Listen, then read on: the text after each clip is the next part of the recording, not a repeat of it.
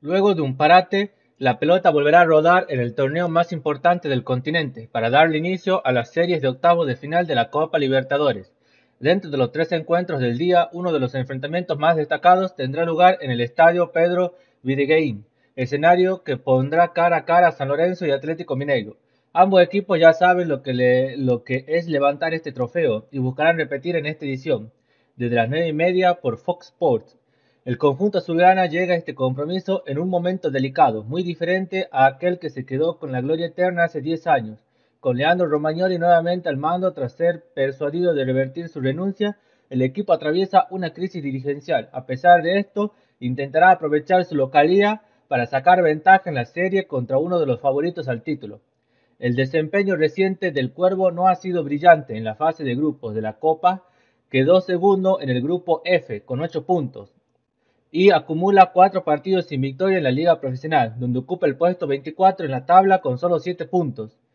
Eh, solo 3 por encima de Central Córdoba, el último de la competencia. Estos encuentros incluyeron empates frente a Newell's, Independiente y derrotas ante Vélez en la Copa Argentina y Atlético Tucumán.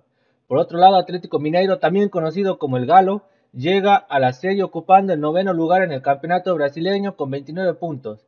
El conjunto brasileño ganó la Copa Libertadores en 2013 con Ronaldinho como figura principal, derrotando a Olimpia en una final decidida por penales. En esta edición terminaron como el segundo mejor primero en la fase de grupos, acumulando 15 puntos en el grupo G.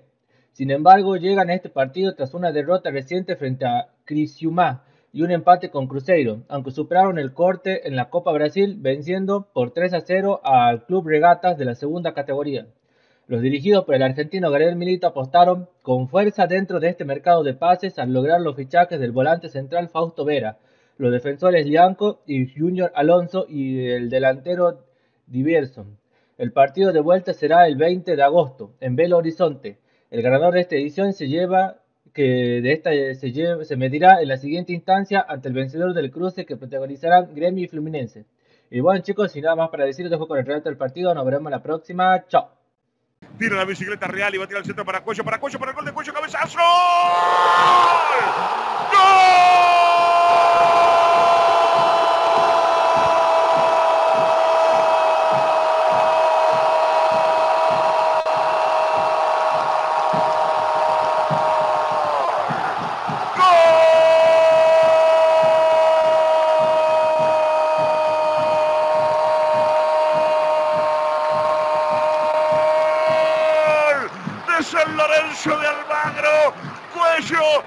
El que le gusta este tipo de partido de copa, el que se motiva frente a ese arco, pero apareció Reali, picó como puntero izquierdo, tiró la bicicleta, como lo hacía el Lobo Fischer, como lo hacía el Lobo Cordone, tiró el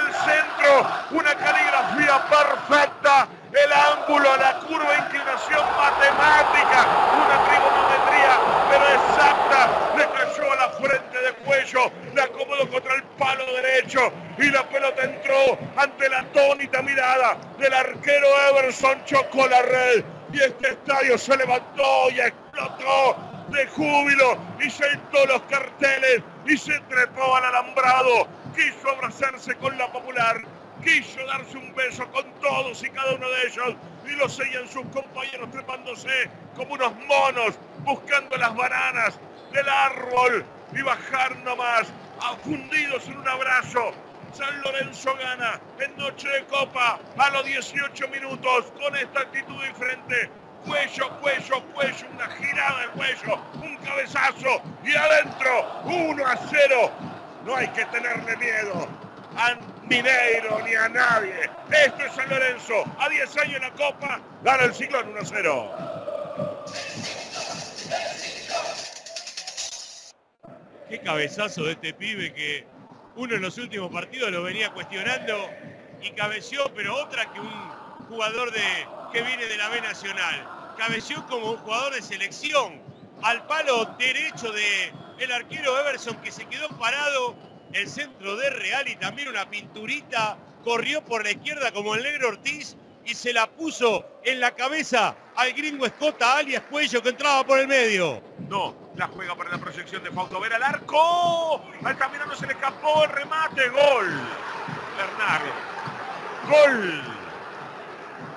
Gol de Mineiro Ber, Bernardo Paulinho. Bernardo Paulinho. Paulinho. Bien. No, el gol que se come Altamirano, Maxi, no se puede creer. Cerrámelo, 12 y medio. Se cómo estará Altamirano mentalmente, ¿no? No, lo regaló él, Maxi. Lo regaló, te lo juro que lo regaló. Qué bárbaro. 1 a 1. Porque fue un tirito, Maxi. Fue un tirito para, como para cuando practicás en la playa, que te tirás en la arena, viste, a patear penales. La dejó muerta ahí para que la empuje el hombre de Atlético Mineiro. Contra esto no podés. Un partido que San Lorenzo está ganando. No, no se puede. La repetición me vuelvo loco. La verdad, este muchacho te hace quedar afuera de la copa con esta cagada. Atención, que en una